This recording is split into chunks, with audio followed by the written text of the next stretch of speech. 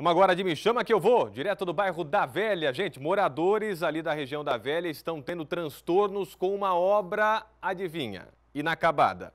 É que tinha previsão de ficar pronta em novembro do ano passado. A nossa equipe foi lá, coloca na tela pra gente, vai lá. No quadro Me Chama Que Eu Vou de hoje, a nossa reportagem está aqui no bairro da Velha, em frente à escola Natália Winkler, porque na rua João Bizeski, uma obra que foi prevista para ser terminada em novembro do ano passado, ainda não foi acabada. A gente pode ver que ela traria bastante benefícios para a comunidade do bairro, para os pais que têm alunos aqui na escola, porque prevê diversas modificações na estrutura de toda a rua. Eu estou até aqui ó, com o projeto inicial desta obra e o que a gente vê neste momento é nada parecido. Aliás, a empresa responsável também não deu mais as caras por aqui.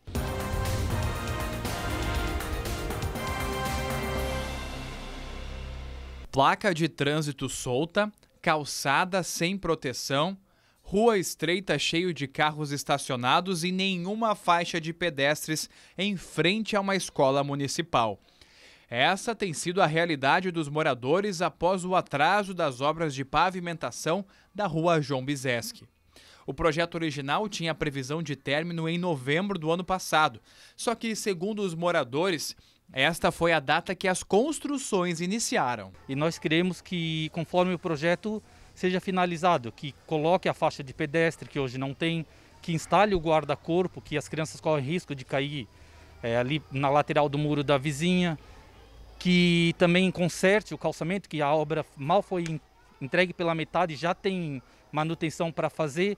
Uma das reivindicações da comunidade, dos moradores e também dos pais dos alunos da escola é que seja instalado aqui no lado desta calçada suspensa um guarda-corpo. Isso para trazer mais segurança, principalmente porque no horário de saída ou entrada dos alunos, a criançada acaba passando por aqui Muitas vezes quer dar uma olhadinha no muro, quer pular por aqui. É bem perigoso também porque é alto, tem um matagal, a gente não consegue nem ver onde é que é o chão.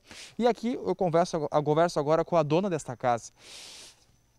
Como é que está a situação aqui? Já, a senhora já viu crianças chegando por aqui, pulando, é perigoso? Já peguei crianças se esquivando ali para olhar dentro do meu muro ali. Eu já peguei, está muito perigoso isso aí. Os moradores também pedem mais atenção ao trânsito da rua.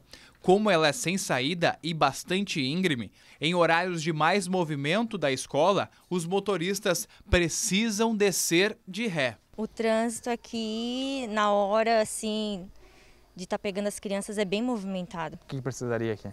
Uma placa de proibido estacionar assim, só para embarque e desembarque mesmo, né? Uhum. Porque acaba dificultando assim para os pais estar tá trazendo as crianças assim para estar tá manobrando o carro e aí um tá subindo, o outro quer descer, não tem como, né?